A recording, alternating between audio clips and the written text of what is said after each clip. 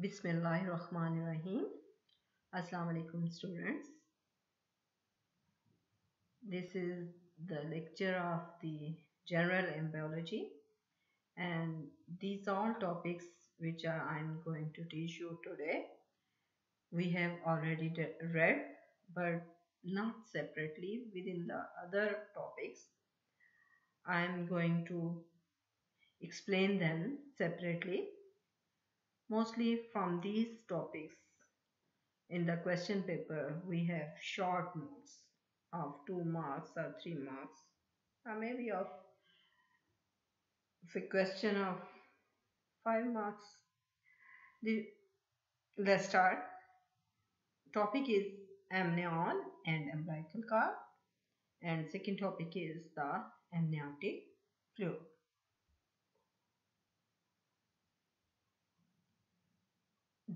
oval line of reflection between the amnion and embryonic ectoderm. Amnion is the bag membrane and embryonic ectoderm is the outer layer of the embryonic germ layer. Embryonic ectoderm, amnioectoderm junction is the primitive umbilical ring. Here you can appreciate that this is the primitive umbilical ring. That is amnion. Here you can see that this fetus is present within the amniotic bag. This is the amnion and this is in connection with the ectoderms, the outer layer of the germ layer. So here it will form the amniotic ring. Uh, primitive umbilical ring. So the oval line of reflection between the amnion and embryonic ectoderm that is amnioectodermal junction is the primitive umbilical ring.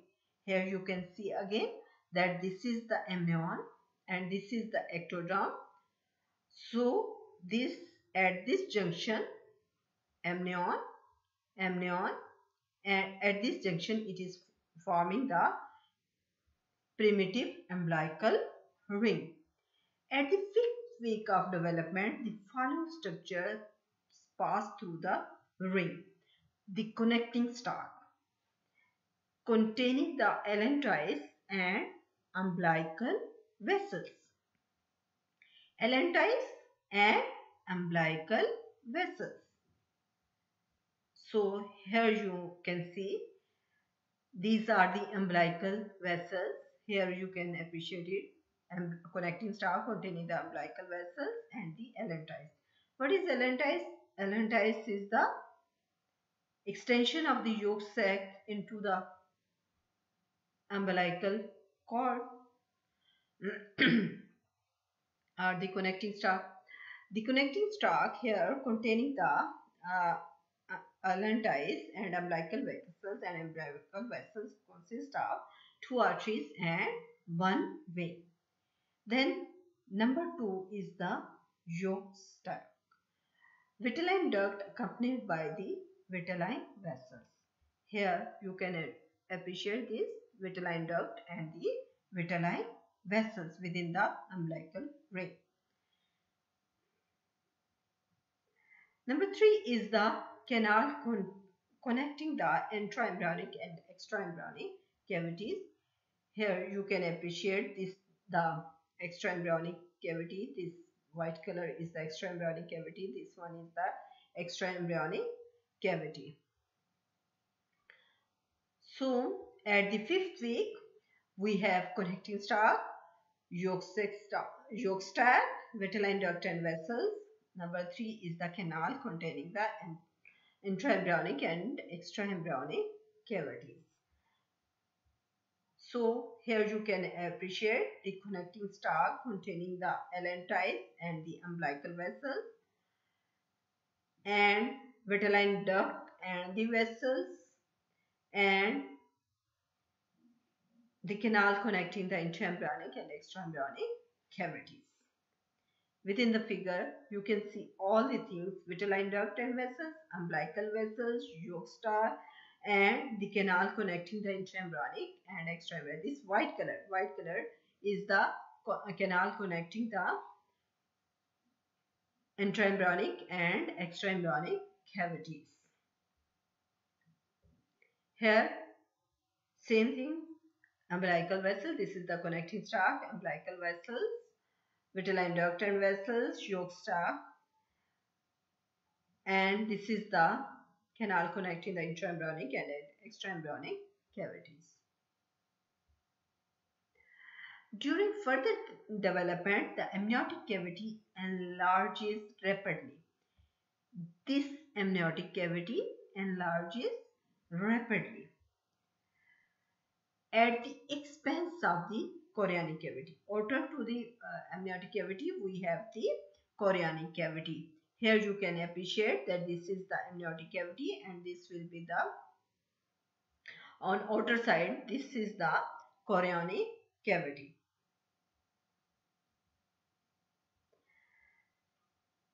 And the amnion begins to envelop the connecting yolk stalk floating them together and giving rise to the primitive umbilical cord as we already read just now.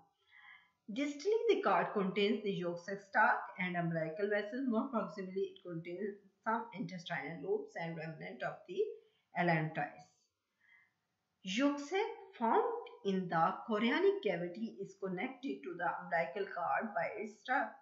At the end of the third month, the amnion has expanded so that it comes in contact with the chorion obliterating the chorionic cavity, the yolk sac then usually shrinks and is gradually obliterated. So we can see on this that this is the chorionic cavity, this is the amniotic, amniotic cavity. Amniotic cavity will expand and will join this chorionic membrane so that there will be no chorionic cavity in future and it will disappear. One point and second point, the yolk sac which is allantois, it will be along with the umbilical vessels, it will disappear when there will be the constriction of the or crowding of the connecting stalk due to the obliteration of the chorionic cavity. Then there will be the disappearance of the yolk sac. So this point yolk sac disappearance, this point that the uh, chorionic cavity disappears, the, these all are explained on this diagram that this is the chorionic cavity, it will enlarge and it will disappear. And this is the connecting stalk or the umbilical cord, future umbilical cord that contains the umbilical vessels, vitelline duct and vessels which will obliterate uh, in future and yolk sac stalk yolk sac and star. And this is the canal connecting the intraembryonic and extraembryonic cavity which will also disappear and remains will be the umbilical vessels within the umbilical cord.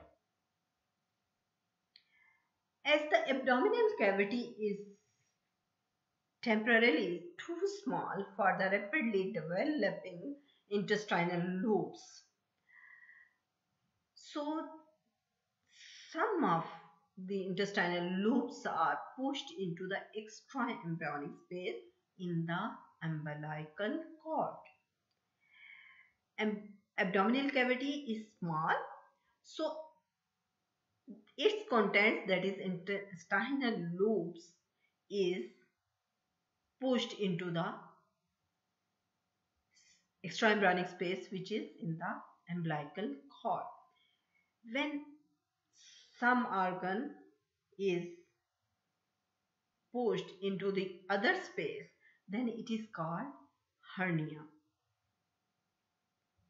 As you read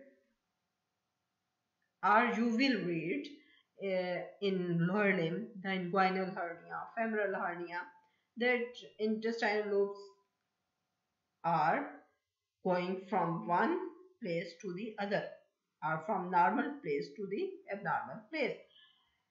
As it is occurring in the during development, so it is called physiological umbilical hernia, not pathology. So it is the physiological uh, umbilical hernia that is intestinal loops are pushed into the umbilical cord as the abdominal cavity was very small. At approximately the end of the third month or 12 weeks, the loops are withdrawn into the body of the embryo and the cavity in the cord is obliterated. We have already discussed it that cavity will be obliterated but after the pushing back the abdominal contents into the abdomen. When the allantois and Vitelline duct and its vessels are also obliterated, as I have already told you, all that remains in the cord are the umbilical vessels. So, uh, within the umbilical cord, we have only at the end umbilical vessel. When we start the development of the umbilical cord, there were so many that is allantois, Vitelline duct and vessels, umbilical vessels and the canal connecting the extraembryonic and intraembryonic space. But no, we have only the umbilical vessels surrounded by the jelly of Wharton. Jelly of Wharton is rich in proteoglycans, functions as a protective layer for the blood vessels. When child will be born, we will cut the umbilical cord from the placenta and there will be the rapid constriction of the cord due to the contraction of the umbilical vessels after the cord is tied off.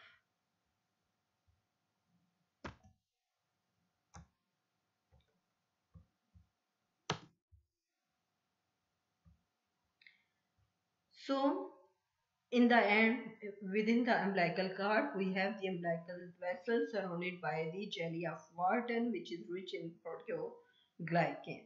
This is all about the umbilical cord that we have the primitive umbilical ring first and in it we have a number of contents but in the end we have only the umbilical vessels surrounded by the jelly of Wharton. Now we start the next topic that is amniotic fluid. Amniotic cavity is filled with a clear watery fluid that is produced in part by amniotic cells as the amniotic cavity is formed by the amniotic cell. But primarily it is derived from the amniotic fluid is derived from the maternal blood. The amount of fluid increases from approximately at the age of 10 weeks of gestation. It is only 30 ml 20 weeks 450 ml and at the age of 37 weeks it is about 800 to 1000 ml during the early months of pregnancy the embryo is suspended by its umbilical cord. In this fluid which serves as a protective cushion what are the functions of the amniotic fluid? It absorbs jolts. Number two, it prevents adherence of the embryo to the amnion. It absorbs jolts. Number two, it prevents adherence of embryo to the amnion, allows for the fetal movements. So these three are the functions of the amniotic fluid. Volume of amniotic fluid is replaced every 3 hours. It is replaced every three hours from the beginning of the fifth month, the fetus swallows its amniotic fluid and it is estimated that it drinks about 400 ml a day. Drinks about 400 ml a day, about half of the total amount. Fetal urine is added daily to the amniotic fluid in the fifth month, but this urine is mostly water since the placenta is functioning as an exchange of metabolic waste. During childbirth, the amniochorionic membrane forms a hydrostatic valve that helps in dilatation of the cervix. So this is all about the amniotic fluid that it is produced by the amniotic cells and primarily derived from the maternal blood. Then its amount and functions that it absorbs jaws prevents adherence of the embryo to the amnion and allows for fetal movements. And then swallowing of the amniotic fluid and excretion of the amniotic fluid as the urine which is mostly water. Thank you so much. And now the assignment. Assignment will be uh, roll number 61, 62, 63, 64, 65, 67, 68, 69 and 70. Thank you so much. Allah Hafiz.